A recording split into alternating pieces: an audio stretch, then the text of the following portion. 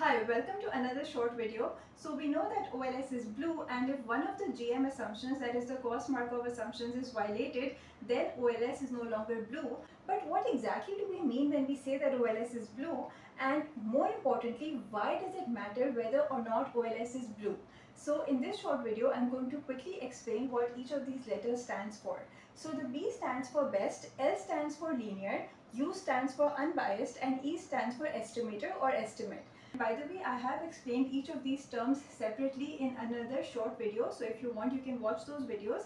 But in this short video, I'm simply going to explain why it matters if OLS is no longer blue. So the first thing to remember is that B stands for best. And the confusing part, like I already mentioned, is that we really don't know what it means for OLS to be best, right? I mean, what really does it mean when we say that OLS is the best estimator? So in the world of econometrics, best basically means the most efficient. And now you must be wondering what exactly does it mean to be efficient, right? So we know that best means efficient, but what does efficient mean? So efficient simply means to have the least or the minimum possible variance. Now the important thing to note is that as you may recall from my other video, I have already explained that in the presence of multicollinearity, OLS is still blue, right? So it stays best. But in the presence of heteroscedasticity, OLS is no longer blue and in the presence of autocorrelation as well, OLS is no longer blue. That is, we simply drop the B. Now the question arises, why do we drop the B?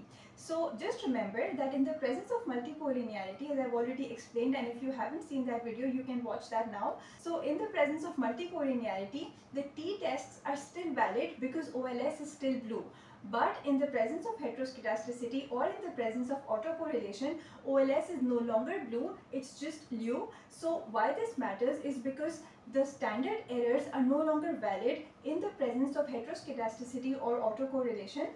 So if somebody were to ask you why does it matter whether OLS is just blue or whether it's LU, well you can simply answer that if for example in the presence of heteroscedasticity or autocorrelation where the standard errors are invalid then in this situation OLS is no longer blue and this matters a lot because when the standard errors are invalid then you must remember that standard errors are a component in the computation of the t-stats right? So when the standard errors are invalid then the t-stats are also obviously going to be invalid. So this is why it matters whether OLS is blue or whether it's just blue